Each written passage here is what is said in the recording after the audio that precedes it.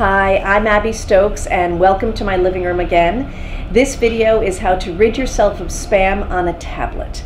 First, let's talk about spam for a second. Spam and junk mail are interchangeable as far as terms are concerned. We all know what it's like to get too much junk mail in our three-dimensional mailbox at home. Wouldn't it be great if you could have two mailboxes at home? One that gets personal mail and bills, unfortunately, and the other one gets all of those catalogs and solicitations. Well, you can do that online. You can have two email addresses, and I highly recommend that you do.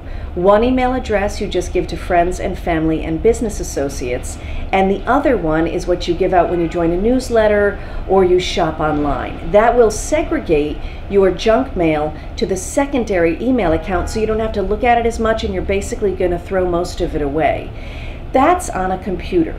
We can handle junk mail and spam on a tablet as well. And let's talk ourselves through this using an iPad is what I'm going to be using. But for your sake, I have up below this video on my website, it, there's a link that says click here for printable instructions. And when you click on that, you're going to get instructions for how to rid yourself of spam or junk mail, not just on an iPad, but on other kinds of tablets.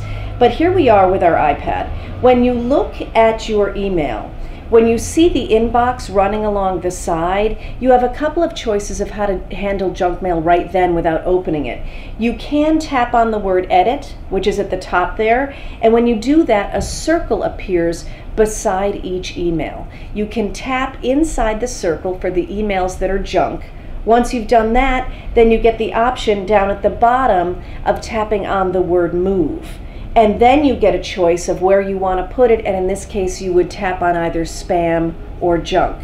So that's one option when you're seeing the inbox. The other option when you're seeing the inbox is to swoop your finger across the email, tap on the word more, and then you can move it to junk that way. If you don't want to do any of those, you can actually open up the email itself and tap on the folder at the top and you'll see the list there and you can put it into junk. With some other tablets, you can actually, when you see the folder list on one side and you're looking at your mail, you can click and drag the mail into the junk folder that way. So, look at the printable handout below this so that you can look at the instructions while you take the action. And hopefully, if you're vigilant about marking your emails as spam and junk, your email service will be good about filtering them out over time and you'll have less and less to deal with. Please don't hesitate to email me with any questions or any suggestions of other videos that I can do for you.